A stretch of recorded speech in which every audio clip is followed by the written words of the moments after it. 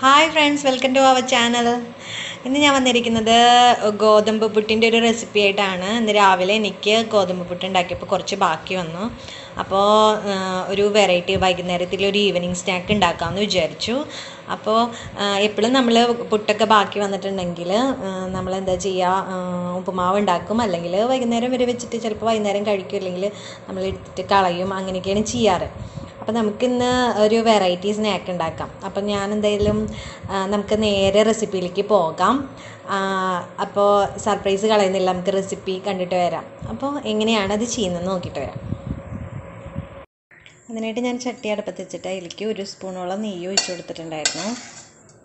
നെയ്യ് നേരത്തെ വെച്ചിട്ടുണ്ടായിരുന്നു കേട്ടോ ഞാൻ. കുറച്ചും കൂടി ഒഴിക്കുകയാണ്. ഒരു സ്പൂണോളം വേണം. അപ്പോൾ ഈ സ്പൂണിൽ രണ്ട് ടൈ രണ്ട് ടൈംസ് ആയിട്ട് എടുത്തതാണ്. അപ്പോൾ നെയ്യ് ഒഴിച്ചു കൊടുത്തിട്ടുണ്ട്. അത് ഉരുകിയിട്ടുണ്ട്. അപ്പോൾ നമുക്ക് ഇതിലേക്ക് നമ്മുടെ പുട്ട് ഇട്ട് കൊടുക്കാം. അപ്പോൾ ഞാൻ ഇതിലേക്ക് നമ്മുടെ ഗോതമ്പ് പുട്ട് ഇട്ട് കൊടുത്തിട്ടുണ്ട്. അത് നല്ലോണം ഫ്രൈ ചെയ്തെടുക്കാം. നല്ലോണം ഫ്രൈ ചെയ്തെടുക്കാം.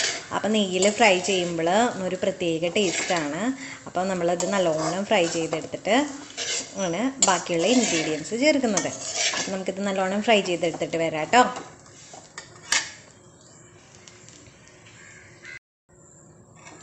നല്ലോണം ഒന്ന് ചൂടായിക്കോട്ടെ. നല്ല മുരിഞ്ഞൊന്ന് ചൂടായിക്കോട്ടെ. നല്ല ടേസ്റ്റ് ആയിരിക്കും നെയ്യിലിത് വറുത്ത് കിട്ടുന്നത്. ഇത് ഗോതമ്പ് പുട്ടാണ് അതുകൊണ്ട് ഇങ്ങനെ കട്ടയൊക്കെ ഉണ്ട്. അപ്പോൾ പെട്ടെന്ന് ഉണ്ടാ പെട്ടെന്ന് ബ്രേക്ക്ഫാസ്റ്റ് ഉണ്ടാക്കിയതാണ് ഞാൻ. അതുകൊണ്ട് ഇങ്ങനെ കട്ടയൊക്കെ പിടിച്ചു പോയി. അപ്പോൾ എന്തായാലും അത് ബാക്കിയും വന്നു. അപ്പോൾ ഇങ്ങനെ ഒരു സ്നാക്ക് ഉണ്ടാക്കാമെന്ന് വിചാരിച്ചു. ഇപ്പോഴും നമ്മൾ ഉപ്പുമാവക്കല്ല ഉണ്ടാക്കാം. ഇത് നല്ല ടേസ്റ്റുള്ള കേട്ടോ ഒരു വെറൈറ്റി ഡിഷാണ് വെറൈറ്റി ഒരു സ്നാക്കാണ് കേട്ടോ. നാലുമണി നല്ലൊരു നാലുമണി പലഹാരമാണ്. എല്ലാവരും ട്രൈ ചെയ്ത് നോക്കണം കേട്ടോ. നോക്ക് നമ്മുടെ പുട്ട് നല്ലോണം ഫ്രൈ ആയി വന്നിട്ടുണ്ട് കേട്ടോ. നമുക്ക് നമുക്കിനി ഫ്ലെയിം ഓഫ് ചെയ്യാം. നമുക്കിതൊരു പാത്രത്തിലേക്ക് മാറ്റാം.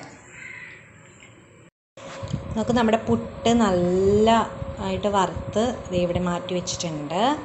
അപ്പം നമ്മൾക്കിതിൽ ചേർക്കാൻ പോകുന്ന ഇൻഗ്രീഡിയൻസ് എന്താണെന്ന് വെച്ചാൽ ഞാനിതിലേക്ക് എടുത്തിരിക്കുന്നത് ഒരു കപ്പ് നാടൻ ഒരു കപ്പ് ഇല്ല ഞാനിപ്പോൾ ഇതിപ്പോൾ ഹാഫ് കുറ്റി അതായത് അര കണ കണ എന്നും പറയും കുറ്റി എന്ന് പറയും. അരക്കാണ് പുട്ടുണ്ടായിരുന്നുള്ളൂ ബാക്കി ഉണ്ടായിരുന്നുള്ളൂ അപ്പോൾ അരക്കുറ്റിക്ക് ഞാനിപ്പം ഒരു മുറി അര അരമുറി നാളികേരം എടുത്തിട്ടില്ല. അതിന്റെ പകുതി കുറച്ച് നാളികേരം എടുത്തിട്ടുള്ളൂ.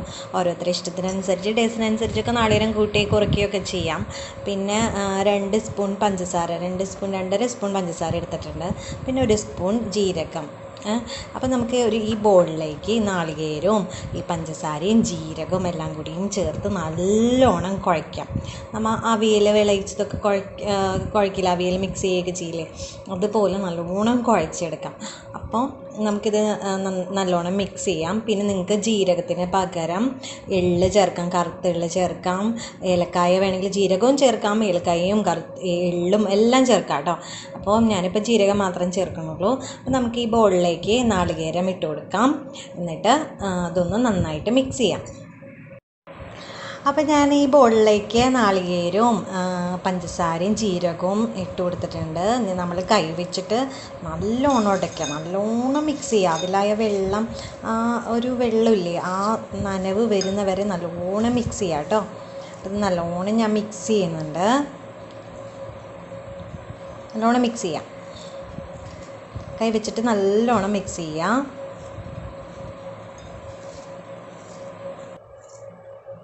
ഇത് ഞാൻ നല്ലോണം മിക്സ് ചെയ്തിട്ടുണ്ട്. നമുക്കിതിലേക്ക് ആ വറുത്ത് വെച്ചിരിക്കുന്ന ഈ നമ്മുടെ ഗോതമ്പ് പുട്ട് ചേർത്ത് കൊടുക്കാം. അപ്പം ഞാൻ ആ നാളികേരത്തിന്റെ മിക്സിലേക്ക് നമ്മളുടെ ഗോതമ്പ് പുട്ടി ചേർത്ത് കൊടുത്തിട്ടുണ്ട്. എന്നിട്ട് ഗോതമ്പ് പുട്ടി ചേർത്തതിന് ശേഷം കൈവച്ചിട്ട് നല്ലോണം ഒന്ന് മിക്സ് ചെയ്യാം.